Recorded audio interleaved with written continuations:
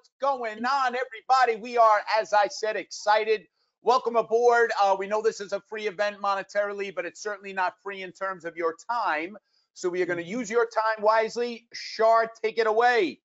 Yeah, well, happy Friday, everyone. Good afternoon. And I'm going to say Happy New Year. We can say that all the way through January. Um, it is my privilege today to welcome you all to our 2024 CPA exam roadmap webinar hosted by myself, Charlotte Roberts, my colleague Quinn Perkson, and of course, the none other than Mr. Peter Olinto. So as Let's you go! all know, we're ready. It's Friday. I think the music fired Peter up here. Um, as you all know, the old CP exam, it's gone. The new 2024 exam, it is finally here. And in fact, it made its big debut last Wednesday, January 10th. With the new exam comes a wide variety of different decisions and choices that you're going to have to navigate, such as which part to sit for first, navigating the testing windows. And I think the big question that a lot of folks are joining us here today for is which discipline do I choose and how do I choose the right fit for me? So definitely strap on your seatbelts. You're going to get answers to those questions, plus learn a whole of a lot more by joining us today. So next slide, Matt. Um, a quick reminder before we get started that Peter, Quinn, and myself, we are three representatives on behalf of a much larger team here at UWorld, all dedicated to ensuring your future success. We have over the past 20 years helped over 2 million students successfully study and pass a wide variety of high stakes exams. We do this with approach, which Quinn was going to show later towards the webinar, of really taking the most difficult concepts on those high stakes exams and making them exceptionally easy for our students to understand. The next slide. Specifically within accounting and finance, as you'll see here, we've made a huge investment the past five, over the past five years, starting with the acquisition of Roger CPA Review. So Peter's joining uh, Roger Philipp as one of our lecturing team here within the CPA Review product.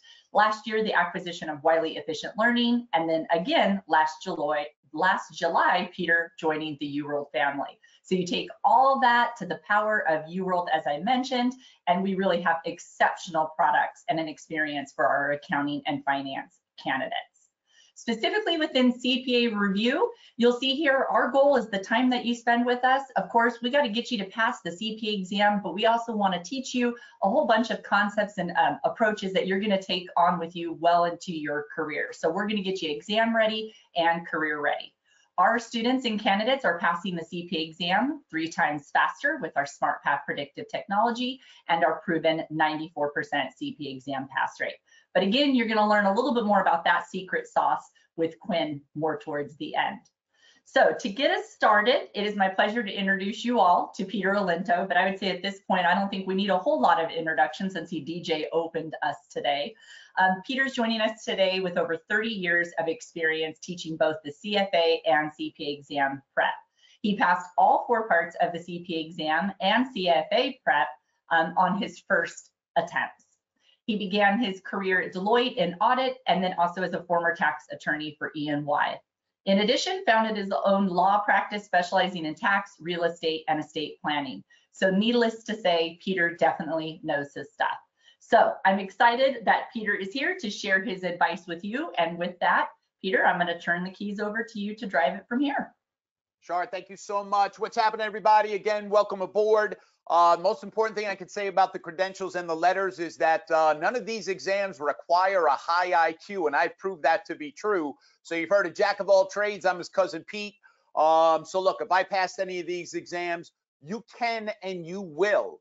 Slow and steady wins the race. Straight A's are not a prerequisite. You just need to make the commitment and be like, hey, this is going to change the trajectory of the rest of my life, not only financially and in terms of your career, but even personally. Obviously, if you like what you do and you're happy in what what you do, you know what, you're more likely to uh, just overall feel better about yourself and your life. So look, I tell people who are studying for the CPA, you got to look at the CPA exam the same way law students look at the bar exam. It's unheard of to go three years to law school and not pass the bar. So there's uh, an incredible uh, uh, uh, commitment, uh, put together an excellent plan to make sure you pass the bar. Otherwise, you can't practice law. Obviously, the CPA, a lot of people see it as a luxury. It's absolutely not. Now, with five years, 150 credit hours, all the time and money you've invested, to get your degree in accounting, how could you not finish the job and get your CPA? I will say, while I am a very, very proud CPA, I will admit I did not grow up wanting to be a CPA. So it's not about our love of accounting and debits and credits. Obviously not. The vast majority of us, I would think if we hit the lotto tonight, we would uh we'd be on a beach in Hawaii somewhere tomorrow and uh, retiring. But look, it's going to open doors for you the rest of your life. It's self-evident if you're in public accounting and you're working in a public accounting firm. A lot of those firms will not promote you. Some not even to senior most not to manager. And um, you know so your, your your opportunities within the firm are going to dry up if you're not a cpa outside of public accounting if you start in public accounting talk to anybody who's gone that route. Yes the hours are long but i don't know any lawyer doctor or anybody remotely successful who didn't inherit the money that's not working hard. But uh, you know you put in a couple of years you get that work experience you have your cpa you talk to people, the headhunters will be calling you off the hook. So uh, regardless of which way your career takes you, you will never regret putting in the time and effort to get certified. So uh, just a couple things on the front end, knowing the CPA exam basics, just don't want to take anything for granted. We'll go through quickly content format, the core versus the disciplines. Uh, we're here a lot to give you some advice on maybe which discipline you want to select. Um, the efficient study habits, you know, what makes somebody successful in preparing for the CPA, CFA, the bar. I mean, they're just exams with a ton of information. That volume of information, how does anybody remember all that stuff exam day? Well, as I mentioned, slow and steady. We're going to give you some tips to help you out through that. So, uh, Matt, if you would, if we could uh, flip to the next slide there. So everyone's taking three parts of the CPA exam, as you all know. So the accounting is the historical financial accounting, pretty much what you saw in intermediate one, intermediate two the basic fundamental audit that everyone has to take, whether you want to do tax or consulting, or whatever you want to do, everyone's taking their basics in audit. And then tax, when the average person on the street hears you're a CPA, what do they immediately expect you to be an expert in? Tax. So everyone, regardless if you go the audit route or not, you have to have a basic understanding of tax. So the core parts are, uh, you know, been tested for a long time. Not a lot of changes there. I'll go through some detail there. But um, you know, the, I'll give you a little advice on the time and effort you can possibly plan when studying for these different parts. But it's very dependent upon your unique circumstances. Like, are you still in school right now? What did you use those 30 credit hours, those electives on? Did you take, you know, golf, or did you actually take an additional class in tax or governmental? Are you at a school 15 years? Well, you're an A student, a C student, I don't know. So there's a range in the time but you want to plan for success and making sure you're going to put in the time necessary to pass. The three disciplines, somebody at the AICPA said, hey, we got a pipeline problem. Why don't we make one of the parts, you know, optional that people get to choose which one? And I, I bet you a lot of people will start majoring in accounting. you got to love it. But somebody thought, and you know what? I, the 150 credit hours aside, it's not a bad thing to make one of the four parts at your option, dependent upon, well, what are you going to do? Are you going to go audit? Are you an IT person or are you a tax person? So that's pretty cool that you get to choose that. Um, you know, a, a big thing with the adaptive and flexible, I got to tell you, a criticism of the CPA exam for decades was that it was too academic in nature, that someone could have, you know, five years of experience in audit and yet have no advantage on the audit section of the exam because it was too academic. They didn't reward your training and experience. That's done. So when we put together the potential order, theoretically the AICPA, you know, said, listen, if you're in audit and you've been doing that for a number of years, you should perform better on that section of the exam. And then the same thing would be true for tax. All righty, so let's flip to the next slide, please, Matt. ISC Hell no, not me. This was not the discipline I'd be taking. I am not the IT guru. It took me an hour to sign on today's webinar. Are you kidding me? But what is tested on ISC? So look, if you're an audit professional and you've got, um, you know, maybe a minor in IT, or maybe, uh, you know, this is where you have a passion. Well, this is going to be the discipline for you. All right, so you got what's called SOC reports. A lot of people don't even know what that stands for if you're not an IT person, but the system, organizational controls, there's a SOC 1, SOC 2, IT risk management, IT and data governance, cybersecurity, privacy frameworks. Specifically, the point value is the information systems and data management That's about half, almost half, 35 to 45%.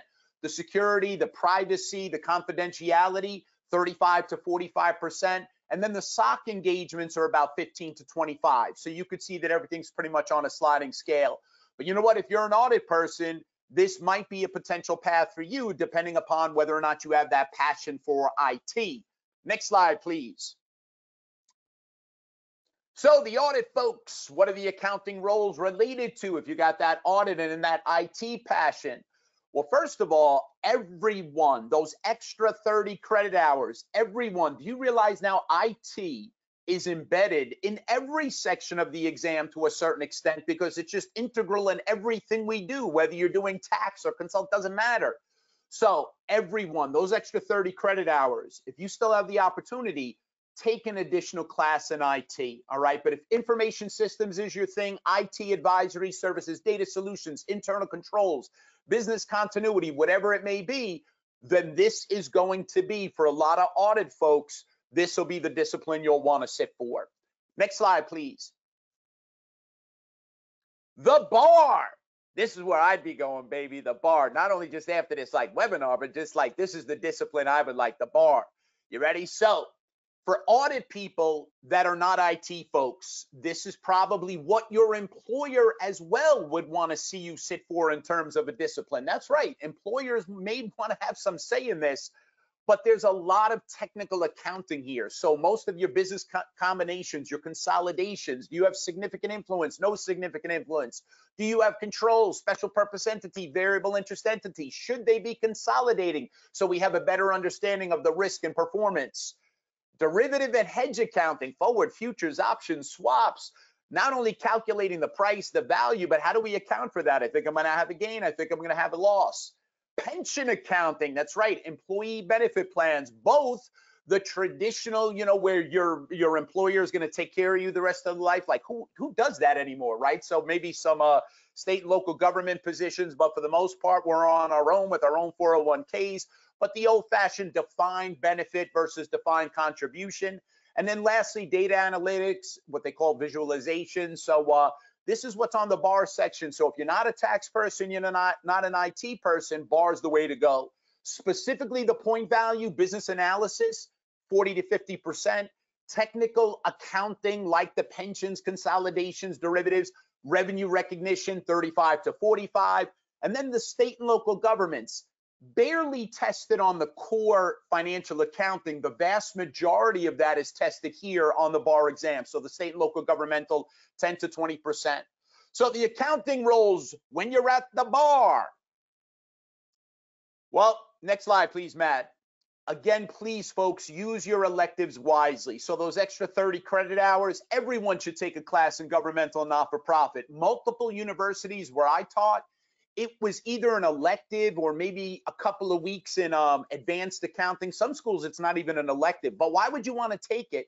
Do you realize behind the public accounting firms and corporate America, one of the largest employers of CPAs in the US, the government, state, local, everyone's got CPAs. So that's a potential career path. And a lot of the public accounting firms have state and local government or not for profits as clients.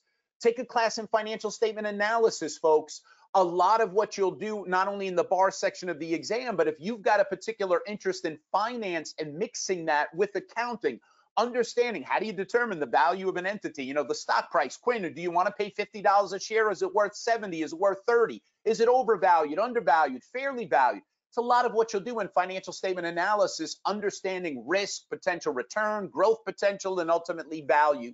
I've mentioned data analytics. You should take a, certainly think about an elective there and then corporate finance for people who have this technical accounting expertise and then maybe you want to combine it with uh, you know you know the CMA route or the CFA route it's wonderful to have that background in corporate finance to be able to advise an entity hey here's what you're going to invest here's what I think the potential value of that is the net present value or your internal rate of return whatever it may be so advisory services, financial analysis, financial operations management, governmental accounting, you're thinking about going into corporate America, it's a no-brainer. Next slide, please. TCP, yeah, you know me. So you're a tax professional. You're loving the tax. What's tested on TCP? Well, first of all, identifying taxable and non-taxable transactions, multi-jurisdictional taxation, uh, tax implication, business formation. Should I be an S corp, a C corp, an LLP, an LLC? Hell no, not me. I don't know. So there's the advantages and disadvantages of different forms of doing business. And then really the analyzing tax alternatives to maximize your wealth. Now, legal tax avoidance is fine. We want to avoid the tax evasion, which is illegal, but tax planning. So, folks, historically and even currently today, the reg section is a lot of compliance, filling out your 1040, 1065, 1120, whatever it is. But tax compliance and planning, personal financial planning, that's 30 to 40% of TCP. That, that's phenomenal because that's a whole opportunity outside of just crunching returns to make the money giving the advice. You've got the entity tax compliance, another potential 30 to 40%, but even entities want to do some tax planning, 10 to 20%. And then your property transactions, another 10 to 20%. Next slide, please, Matt.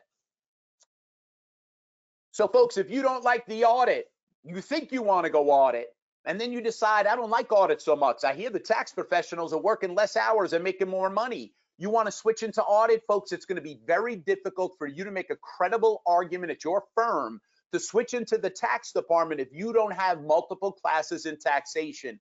So please do yourselves a favor. Even though you think you like audit, what if you don't? And when the average person hears you're a CPA, they're going to expect you to be an expert in tax. Take multiple classes in tax as well as financial planning. If you want to be a tax consultant, having a CPA and maybe you have a master's in taxation or a CPA and a law degree, like I thought I was going to go that route, or CPA and CFP, a certified financial planner. There's so many things you could do. In addition to the obvious tax preparer, financial advisor, you may want to move into wealth management. A lot of level three on the CFA exam is planning for high net worth individuals. How do they minimize their tax obligations and maximize their wealth? And then obviously the tax audit side as well. So, so many fantastic opportunities. Next slide, please.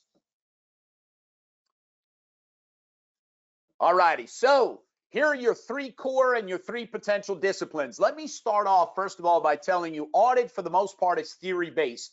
So it's inherently a little bit easier to study, not an easier exam, easier to study because without the math intensive nature of financial or tax, you could, or bar, you could just move through the review a little bit faster. So audit, the core probably 80 to 100 hours, but depending, when did you take that audit class? Did you get an A? Did you get a C? Those sorts of things.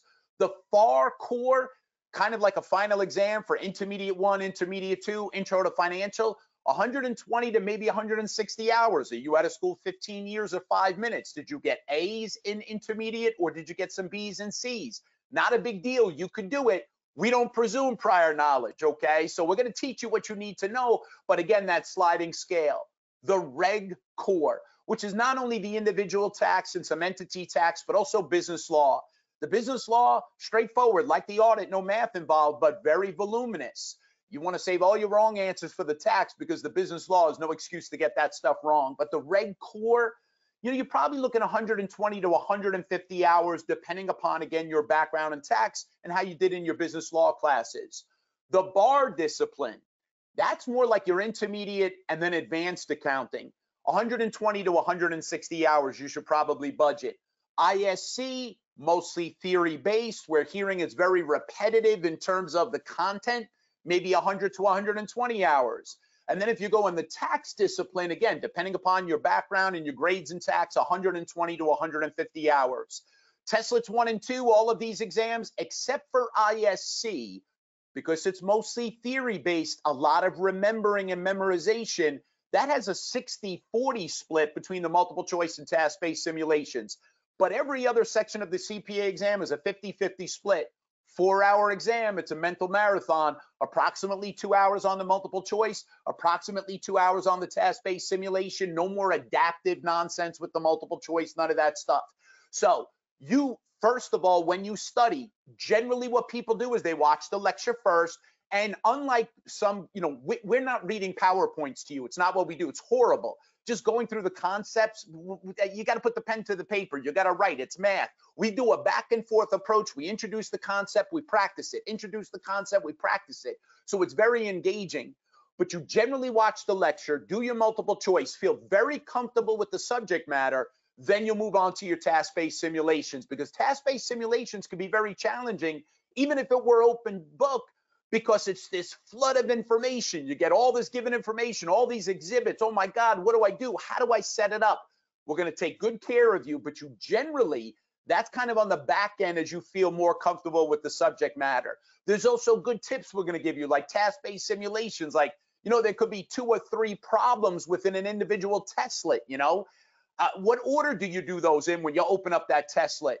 Whatever order you feel more most comfortable with in terms of level of difficulty, you leave the hardest topic in that testlet for last. Because if you're going to rush and run out of time, let's rush and run out of time on something you probably weren't going to do well in, right? It's just logical. Okay, next slide, please.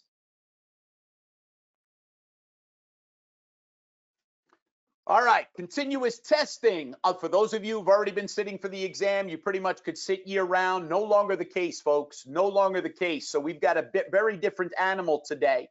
Your core test dates by quarter, you have about six weeks, right? In these in the four quarters throughout the year. And there's a long time lag until you get your results. So what does that mean for you? We used to tell people, God forbid you fail. First of all, it's not the end of the world because the vast majority of CPAs did not, I repeat, did not pass all four parts on the first attempt. That's totally fine. But when you fail a part, you're going to kind of flip your studies. We'll give you a lot of guidance where instead of starting with the lectures, now nah, I think I'm going to start with the problems and the multiple choice and then selectively watch lectures where I'm more deficient. But it happens. The difference today is you used to get your results in two weeks. So we used to tell people if you fail a part, You've only started studying two weeks for your next part. Let it go. Uh, excuse me, let that part go and go back and retake what you just studied. You know, go back and, and while it's fresh in your mind. Now you've got a long time lag. So if you get your results and you failed a part, you know what? Let it go for now. Keep studying with what you've been working on because you're not going to get your results for such a long period of time. You're not going to be two weeks into studying for your next part. You'll probably be two months in to studying for your next part. Okay. Your disciplines, the window is only open for about a month, about four weeks in each quarter. And again, there's a long time delay. They got to make sure, look, that the you know people aren't passing at an 80% rate or a 20% rate statistically. They got to get a volume of exams and make sure you know the bell curve and all that kind of stuff is where they want it to be. The raw score, folks, throw that out the window. People say, "Oh, I need a 75." I don't think so. You know, our practice exams, you know, it's a raw score, right? 75% you know, for them, it's not, you know, it's scale. That's why it takes so long to see, uh, you know what, the, the raw score might be 70. I don't know. But the bottom line is, you know, you've got to give yourself enough time to be properly prepared for each part. You cannot cram. So when I was talking about those number of hours for each and every section, folks, you're not studying, you know, people say, oh, Peter, you said 160 hours. I took two weeks off and, and studied 80 hours a week. That's not the way to do it. It's a marathon, not a sprint. You will learn about the law of diminishing marginal returns if you try to cram too much in two weeks. So plan your studies based upon this new format when the court, you can do this in any order. It would be, in my opinion, generally foolish to start with the discipline because the discipline is the capstone to the core, right? So it's logical you take intermediate before you take advanced, but you could do whatever you want. Next slide, please. All righty, specific advice on exam order. You all heard of LIFO accounting, FIFO. You're about to learn HIFO. Hardest one in, first one out. All right, hardest one in because look, I always hear story. We all hear stories of people who are up for manager, can't get promoted because they don't have the exam out of the way. And more often than not, they've passed parts, but then they lost credit for it because they didn't finish the remaining parts with what used to be the 18 month window, which is now moving to 30 months. You can't have that happen. And because they want to reward work experience, that's going to factor into the planning of what the order in which you sit for the parts. So as a general rule of thumb, and there are multiple ways to get to the finish line. This is not the only way, but all things being equal, if you're an audit person, what's not going to be something you're probably going to see day in and day out? Tax.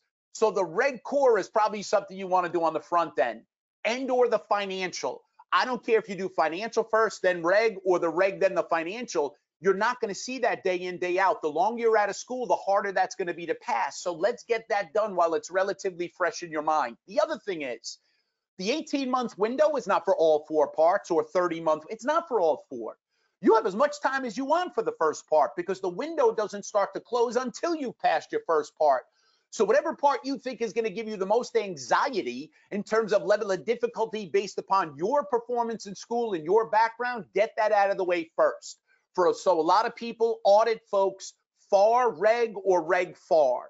After you do those two, now let's say you're working, you're getting training. The audit core is going to be a lot easier for you because it's what you do for a living. And then your capstone will either be the ISC if you're an IT person or the bar. So those sections of the exam, the audit, and then depending upon whether you go ISC or bar, because of your work experience and training, that should get relatively easier. And God forbid you're up against the window, the 18 or 30 months, whatever it may be. You can't cram for your weakest part. You can't. That's going to cause you the most stress because you did your easy parts on the front end. And if you're working full time, you got to plan ahead. What could you realistically absorb while you're working 50, 60 hours a week? Tax folks, FAR or audit. So on the front end, probably FAR, then audit, or maybe audit, then FAR. It depends how much you hate audit. I don't know but FAR audit, some combination there in first and second. I would say the FAR first because it's math intensive and takes so much longer to study for than the audit on average because audit is theory, as I mentioned. Then I would go the Reg Core and then the TCP. Again, all your work experience and training is going to pay dividends, man. So be smart on the front end. Now, some people say, Pete, I need confidence. I want to pass my easiest part first. Hey, listen, there's a lot of ways to get to the finish line. If you're hell bent on doing that, we're not saying not to do that. But on average, all things being equal, this is what makes sense to us, okay? Next slide, please. All right, folks, that 30 month rule, not every state, but most states, you know what state you're in. So have they changed, you know, the 30, the uh, 18 to the 30 months? I don't care if it's 18 or 30. First part, you could take as much time as you want. We know that. You're a working professional, you could pass this exam. You're probably to have to study, though, only maybe 10 hours a week, about 40 hours a month. All right, so that's three to four months to get in the 120 to 160. You could 10 hours a week. You know, for the most part, even if you're working Saturdays, you could do six, seven hours on a Sunday. And then look, don't just study the weekends. Be active every day. So Monday through Thursday, get up an hour earlier. Get it out of the way first. It's like going to the gym, right? If you wait till the end of the day, it's on your mind all day. It's like you did five workouts by the time it's seven o'clock at night. Bang it out first thing in the morning, get it over with. You say, hey, Pete, I got 15 hours a week. All right, 60 hours a month, two to three months, not so bad. Or you're only working part time and you're finishing up your extra 30 credit hours, 20 hours a week, 80 hours a month, two months but don't try to cram this into two weeks, all right, whatever you do. But look, man, there's a lot of different paths you can go depending upon the time you have available. And my college students, man, while you're getting those extra 30 credit hours, if you choose, stay away from the golf and that crap. Get the governmental, the additional tax, the corporate finance, the financial statement analysis. You're studying it in school and then reviewing it for the CPA exam shit, your grades aren't going to suffer. They're going to be that much better because of the additional review you're getting with us, and it's fresh in your mind. Use those credits wisely. Next slide, please. All right, what state are you going to get licensed in? Ask your employer. Whoever is employing you is probably going to have a big say in that because if you're getting, you know, you're going to do audits in New York, I'm going to guess they want you to be licensed in the state of New York. Some firms, though, initially, you know, truthfully, the state you're licensed in, assuming your employer is neutral about it out of the gate, that matters when you're a manager someday or a partner and you want to sign off on something. Then you got to be lawfully licensed in that state, but that's way down the road. If your employer is neutral, shop for a state that's best for you. Who will let you sit at 120 versus 150? Hey, they don't require residency. Well, that's cool. So then it might be a lot easier to sit for the exam in that state, get licensed in that state, and then eventually apply for reciprocity. But for most new hires, your employer is going to have some say. So we to defer to them. But if your employer is neutral, talk to us, baby. We know the states that are going to be relatively easier in terms of the number of credit hours to be eligible, etc. Work experience, one to two years. application and fees, that's what we do. We got a whole team that'll hold your hand through that process in whatever state you want to sit for the exam. And by the way, you can physically sit for the exam in any state you want. Where you get licensed, that depends upon where you mail the money. You can physically sit for the exam in any state you want. All righty. Ethics exam, some states yes, some states no. Uh, you know, international, hey, you got a whole set of different issues and will they take my credits for this? You need background now in US tax, US business laws. You probably know IFRS. Now you got to learn US GAAP. Talk to us.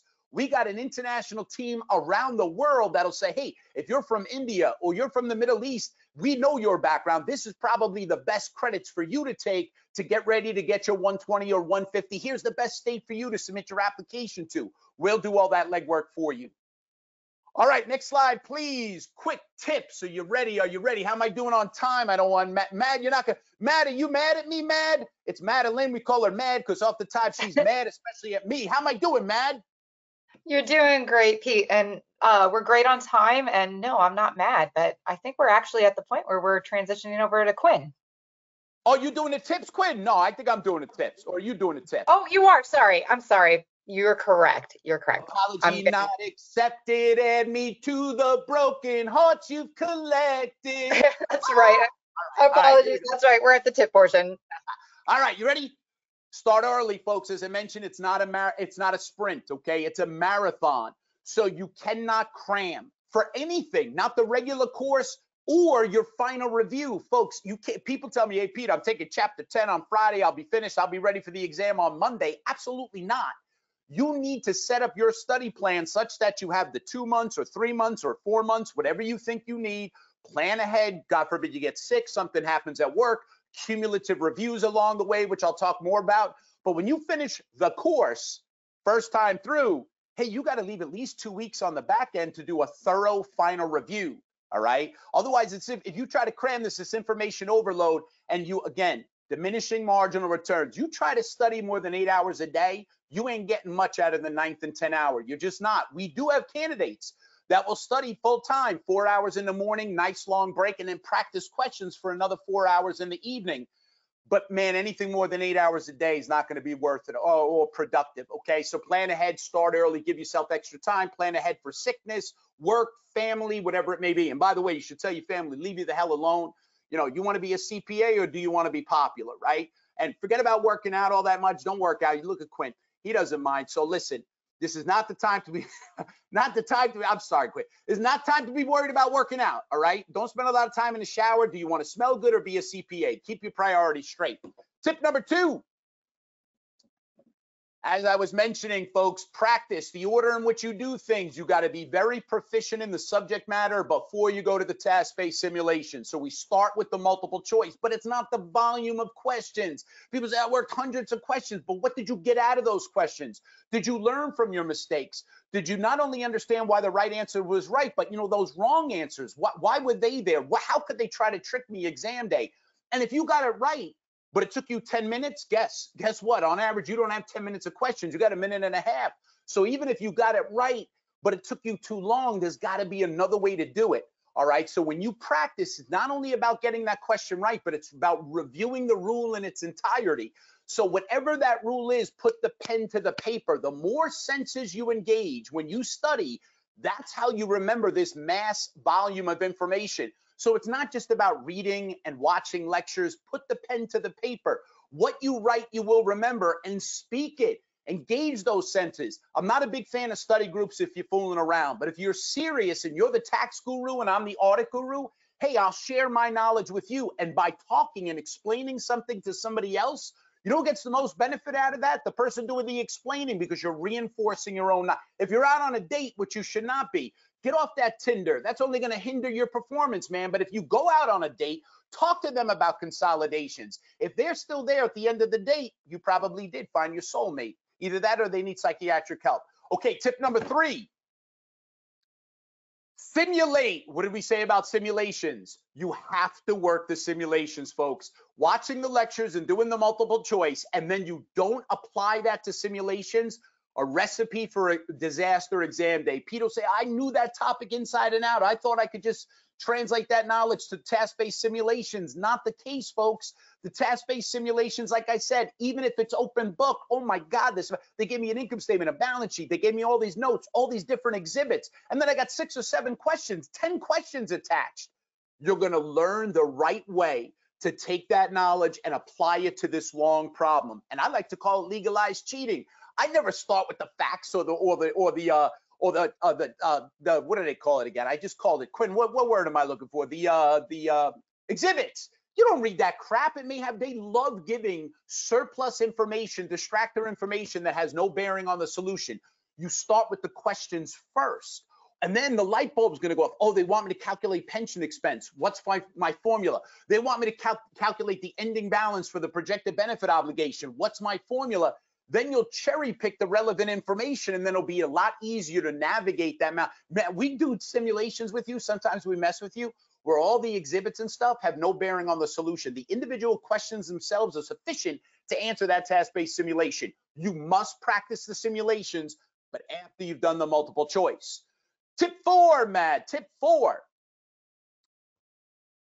All right, how do you remember this stuff exam day? Cumulative reviews, baby. If you're spending two or three months studying, you can't study something in week one and then not look at it again until you do your final review. Out, out of sight, out of mind.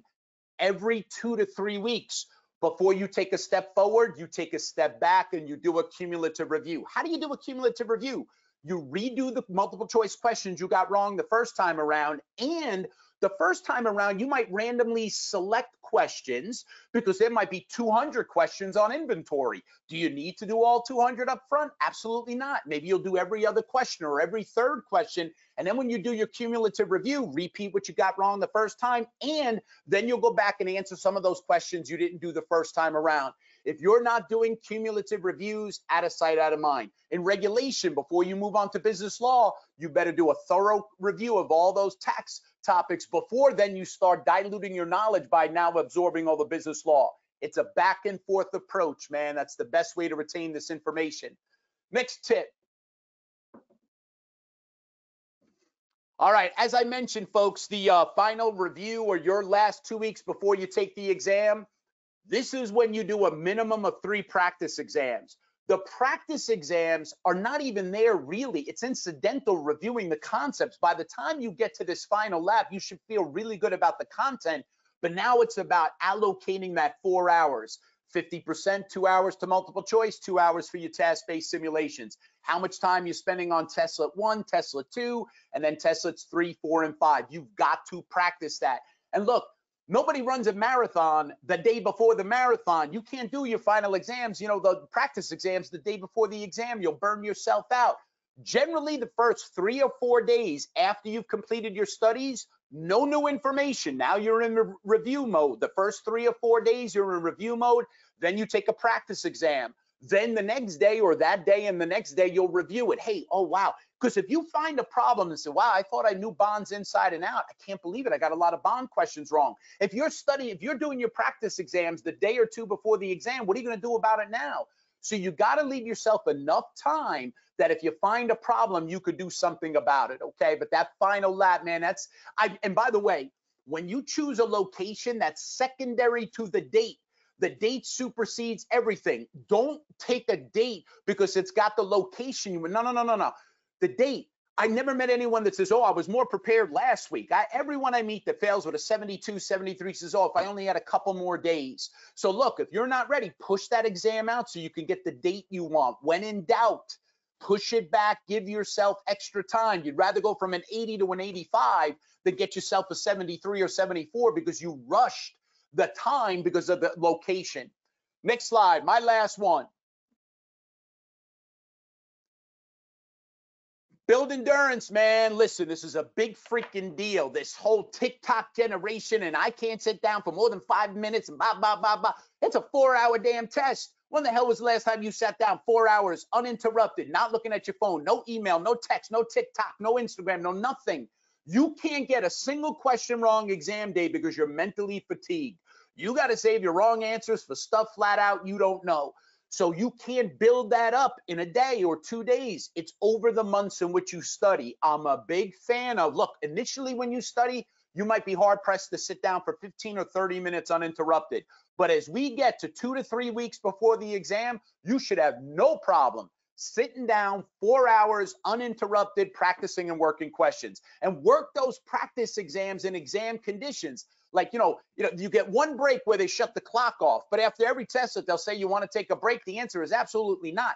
Even if you got to go to the bathroom, your answer is absolutely not because you've already practiced studying in a diaper. So this way, God forbid you got to go to the bathroom, you're not going to get up. You're just going to do what you got to do right there and screw everybody else up because it's not going to smell so good in the room. But that's okay. You just keep rocking that exam. All right. Damn, let's go, baby. All right, Quinn, it's on you, baby. I'm turning it over to you. Let's go. Oh, Quinn, you're on mute.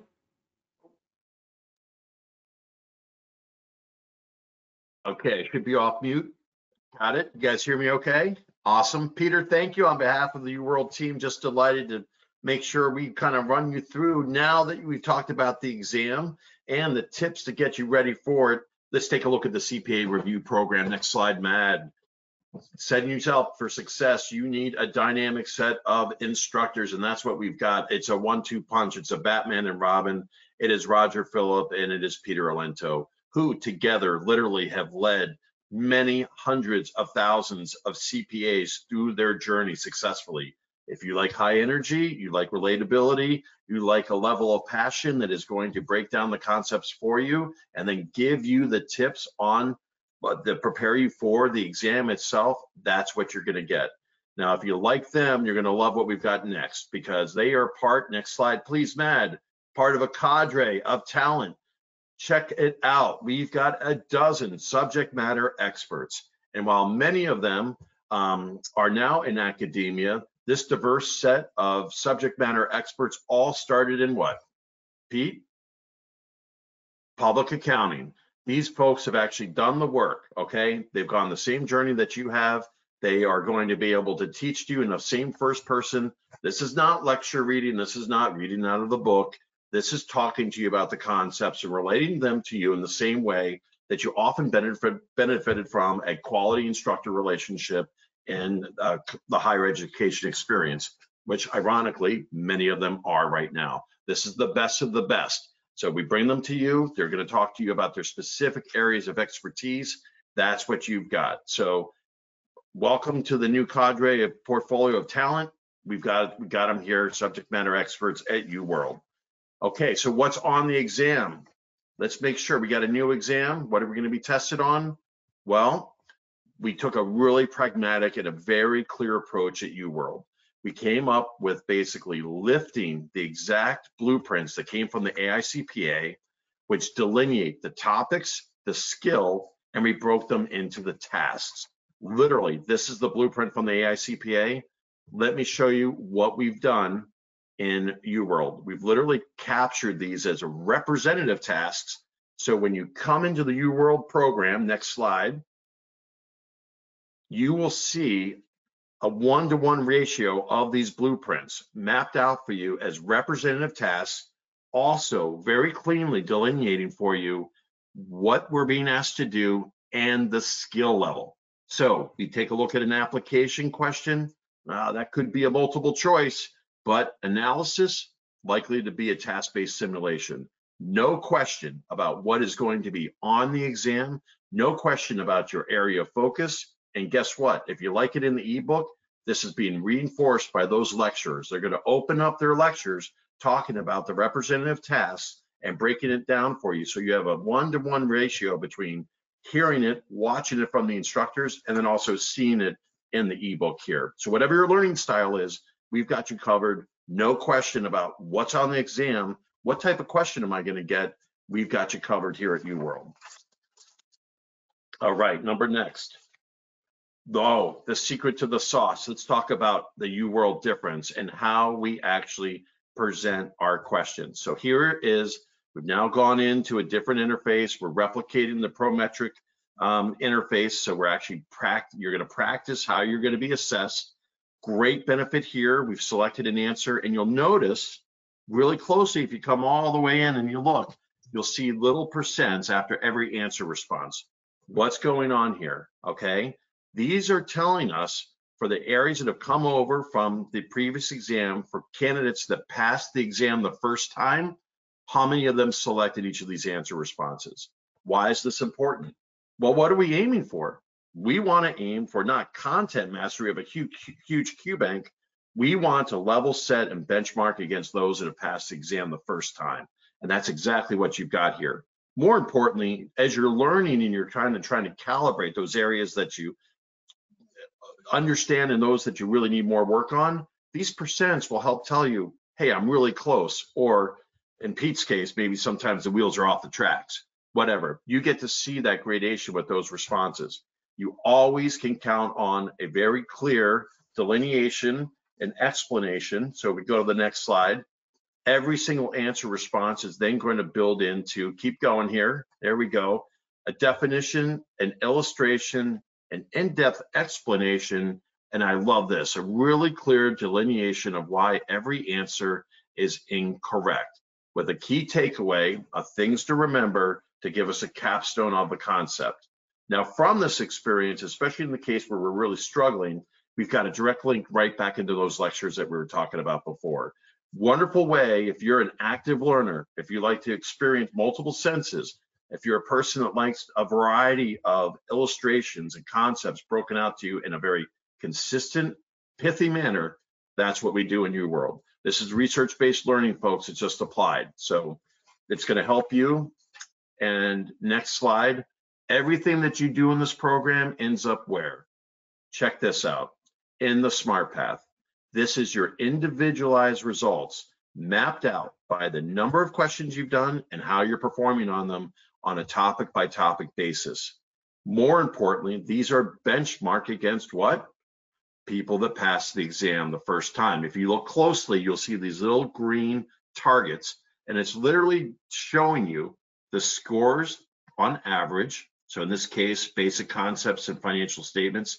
If you squint in there, I think you can see it's 89%. That's the average score and the number of questions. It's not that you have to take the whole Q bank, It's that you have to take the right amount of questions at the right performance level. And guess what? All the more that you do, the more responsive and prescriptive the system becomes. So if you're on target, you're hitting all greens, you got a green mark. You need a little help, you're doing the right amount of exercises, but not quite at the right level. That's right, you got to need some improvement. And if you're doing the work, but you're not scoring at the right level, it's an area that you have identified. I need to double down. I need to go through those additional learning assets, maybe watch the videos again, maybe listen to the videos. This is going to clearly identify for you every single place where you need to double down and put additional time and allow you to also fast track through those areas that you're showing proficiency. Again, we're not asking you to master a whole, whole entire test bank. We're asking you to level set your performance against those that have passed the exam the first time. Ooh, Quinn, take a breath. I Add to that real quick. So unlike, you know, it's not like, hey, you have to watch every single lecture and you have to do every single question in the Q bank.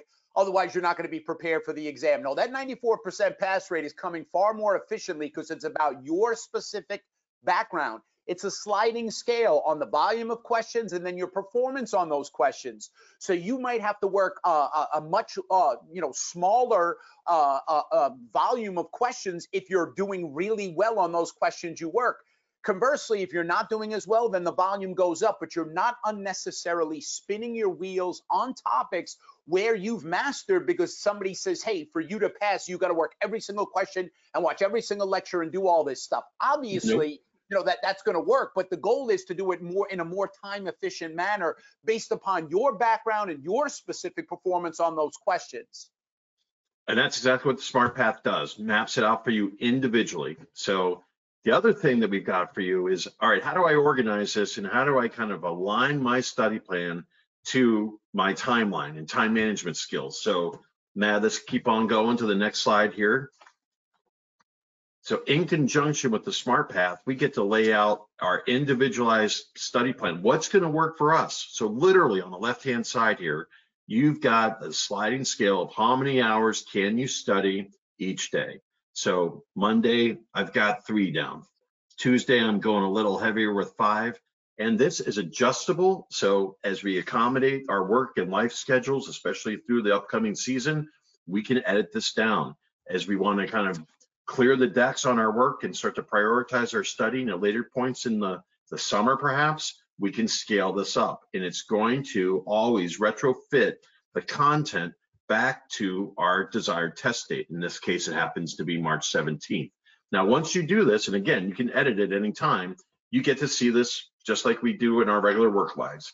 Here's my calendar view. Whatever I have lined up on this week, this month, and more prescriptively, this day. Everything you do in this program and you set up in your study planner, guess what? It now becomes the opening screen that you see with your daily tasks. Really cleanly marked, just like you see here. Green check marks done, red check marks, we've got to do them. So don't worry about, um, you know, what do I need to focus on first? What's next? Am I on track? We've got you covered at UWorld.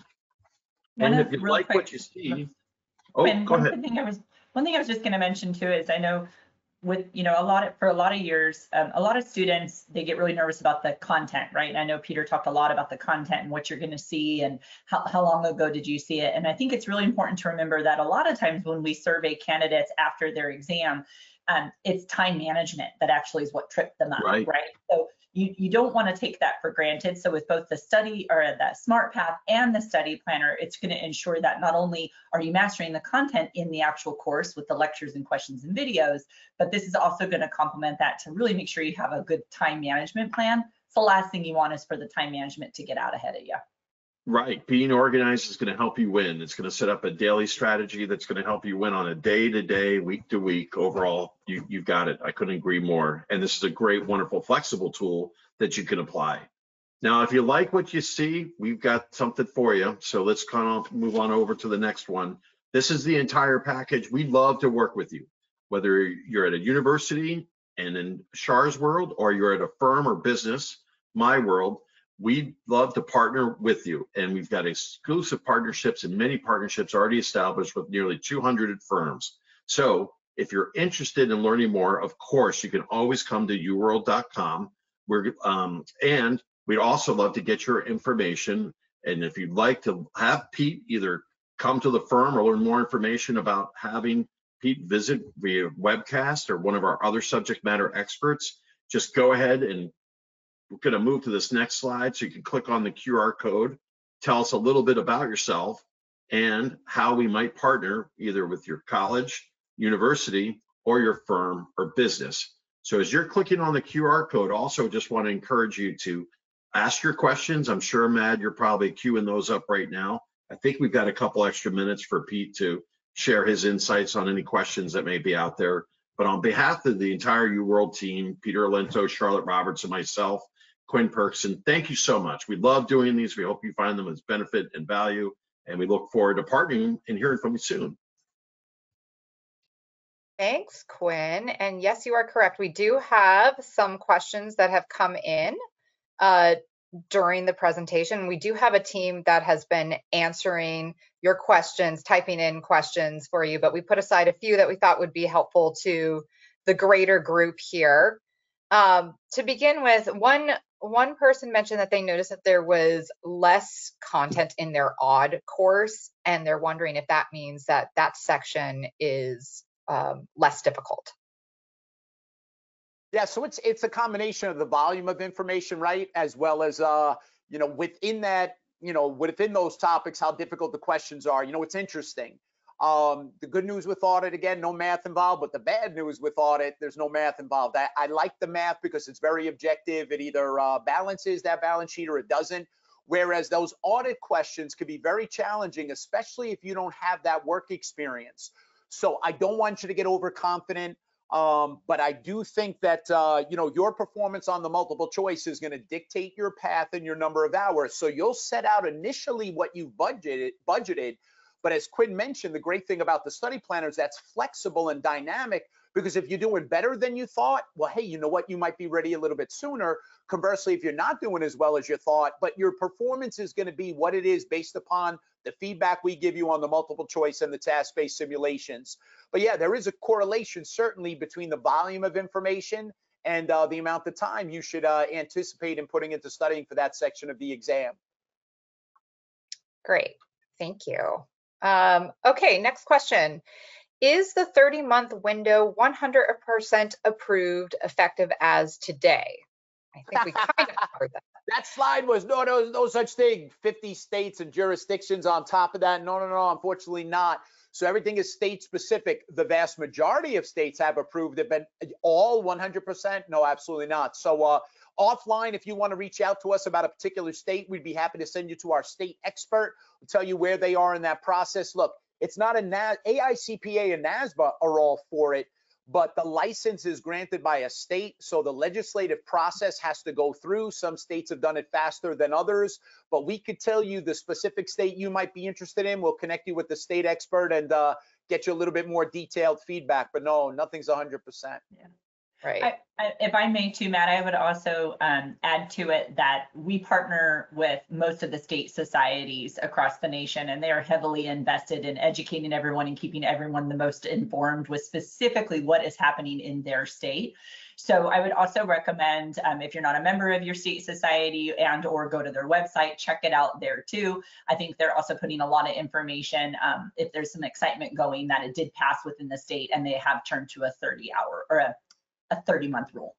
And, and you know, also, what, like I said, if all things being equal, if your employer is neutral about it and, um, you know, you shopping for a state, right? That's one of the things you might want to consider because the 30 month is so far more appealing than the 18 month window.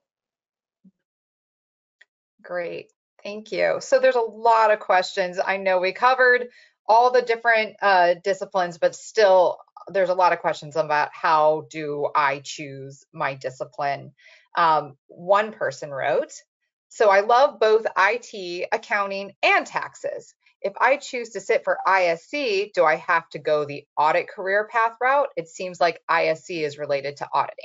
No, no, no. There's no have to, folks. There's no have to. And look, a lot of this is, you know, you're going to change over time, right? I, I, went from, you know, accounting to law and what have you. So no, you're yeah, a CPA, still a CPA. It's just that all things being equal, if you think, you know, this is a much easier decision, right? For people who have two to three year work experience where they know for sure I'm going the audit path or the tax path. But if you're in school and you're unsure, no, you know what? Whatever you think, you know, and then I would break it down if all things being equal, you know, what subject matter uh, do you find most interesting and would you most want to learn more about, right? And did you have a higher mm-hmm. probability of passing if you're interested in that subject matter?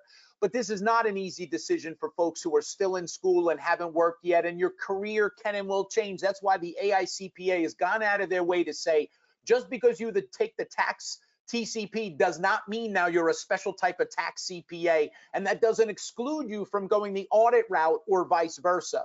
But if you're going to do an internship, forget about choosing the internship over a few bucks difference. What what firm is giving you an opportunity during that internship to actually see both tax and audit? So now you can make an informed decision as to what you think you might like based upon, right? It's like dating, right? You see somebody online, they look pretty good. You meet them in person, you're like, ah.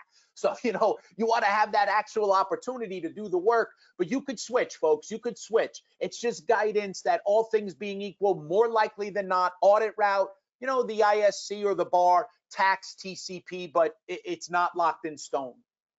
One of the things I would recommend to Madeline for folks that are still trying to figure out which discipline to pick, you know, especially if you've narrowed it down to two, is I would highly recommend you to try out our free trial where you can sample all three of the disciplines. Because I know that Pete shared some great information about potential career paths and your interest. But I think if you're still feeling in the theoretical and having trouble narrowing it down, get in go to the free trial, practice some of the questions, look at how the materials presented. And I think once you get in and actually start sampling it, I think that's really going to seal the deal and you're going to see which area you feel like you're going to perform best in as far as your discipline on the CPA exam. And if you're in school and you're going to the Meet the Firms night, talk to potential employers about, hey, you know, here are the three disciplines. Where is there a need? Like what, you know, especially if you're talking to somebody who's not just in HR, but they're a practitioner themselves, like where do you see the most opportunity? Because if you're relatively indifferent about these things, you obviously want to go to a place that pays more, that has more opportunity, etc. Do your due diligence, right? Find out career paths, what kind of money they make, what kind of hours they work. So that could influence your decision as well. Great. Okay, so here's a, there's still a lot of confusion about the new testing windows. Um, one person asked if they can, I- I know in the past that you would pass, if you didn't pass within that window, you couldn't retake within that window. Is that still true with this new testing window? by necessity. It- It's not like the old exam, uh, going back three or four years ago, when they gave the exam in a certain quarter, you couldn't retake in that quarter, but you had the opportunity to do so because you got your results so quickly, two or three weeks later, that you could potentially retake in that quarter. For right now, it's a moot point because you ain't getting your results in that same quarter. You're not receiving them until the next quarter. So there's no prohibition because it's not even a possibility right now because of the delay in getting your score. So uh, going forward in 2025, that'll be an interesting question. We'll see how they'll do it because originally they went from if you sit in a quarter, you can't retake in a quarter, to the past few years has been if you've taken it in a quarter, got your results quickly, and want to retake in the same quarter, then they said you could do it. We're not at that point yet with this new exam because it's it's not even an option yet. Right. And then also, um, if there's advice on, well, I, I mean, basically you, you covered this because it, the question is that what, what do I do if I don't pass? But you won't Yeah. even know that until, Right. You get Much it takes later. so long for you to get your results that don't wait. The worst thing you could do is say, I'm not going to study for my next part until I get my results because there's a delay of multiple months here that you're losing. Don't let that happen. You take that Right. part, you hope for the best. You know, you take a few days off, and whenever you plan on studying for your next part, jump in because you're going to be two months into that by the time you get results for that other part. So that's why I said earlier if you fail a part, but you started studying for your next part, don't worry about that part you failed. We'll deal with that, but continue with the part you've been studying with, and then call us, talk to us. We'll put together a study plan with you and say, okay, no worries, you got your results. Let's look at that score report because they break it down by multiple choice versus task based simulation. They'll break it down by individual subject matter. So we'll put together a study plan, but predominantly the second time around, that's where you want to flip your approach. And rather than starting with the lectures and then go into the multiple choice, you're probably going to start more with the multiple choice task based simulations and then only rewatch lectures where you were really deficient. Okay. So, but we'll help you do that. But I just don't want you to get discouraged by that because most people don't pass all four the first time because of lack of time. You're going to school, you're working, whatever. It's okay. It's not a big deal. Mm-hmm. Okay, thank you. So we have one time for just one more question. We're already over time. So this last question, um, depending on which discipline you choose, how does that change the order of your exam? Okay, so one more time. General rule of thumb, holding all things constant. If you think you're going the audit route, you're going to get audit training and audit work experience. Therefore, the audit section core and then either the T, uh, the IT or the bar, I would leave those two for last. I would do the core audit third, and then fourth, you're either going to go the IT route or the bar route. If you're going the audit track, what you're not going to be doing day in, day out is uh, regulation, right? Your tax. So you want to do tax first or second, and then financial accounting first or second because it's so voluminous. Again, as I mentioned earlier, hardest one in, first one out. So if you're an audit person, let's get the financial and tax out of the way because that's going to be very academic. You're not going to get training on that. The longer you're out of school, the harder that'll be to pass. If you think you're going the tax route, then you're either going to do financial or audit first. Probably financial because it's more math intensive, needs more time to study for, and you've got no time constraint. You'll probably do your financial, then your audit. And then if you go in the tax route, it makes sense to do the core tax first, the fundamentals, etc., and then your TCP you'll leave for last. Right. So that I, I do think that's really important that more than anything, you don't want to take your discipline prior to taking that core. You always want to Yeah, set that foundation. exception That somebody would do that. There's always the possibility, rare exception, depending upon recent classes you've taken and preference for topics, but that would be the exception more than the rule. And man, before we go, I have to say one thing to this group. Uh, you know, a lot of you know me. I've been in the industry for multiple decades. I was with another review course. I really want to encourage you all. This changes the rest of your life. You've got, we, we shop around for the silliest of things, clothing, shoes, cars, whatever. That's not going to change your life. Passing or not passing this exam will. We encourage you. Listen, what people took two years ago or just a year ago is very different than what that course may be today. We have the confidence in our product to say, hey, man, before you do anything, put us side by side, man. See the way it's explained, the way it's presented, the way they go through the examples, and see the course that's best for you. Because when you talk to people that say, hey, I took so and so three years ago or five years ago, or I'm a partner, I took that 15 years ago. That course may be totally different today. All right. So take the time. Please do your due diligence. We welcome that competition. We want that side by side because if you choose the course that's best for you, you're more likely going to succeed. Yep. Agreed. Thanks, Pete. Thank you, everyone, Okay. Charlotte, Quinn, and Yeah. all that joined today. Yeah, thank you, everybody. Have a great Friday and happy studying. Happy studying. Good luck, folks. Thank you for joining us. We'll see you in class. Hopefully, God bless you. Good luck.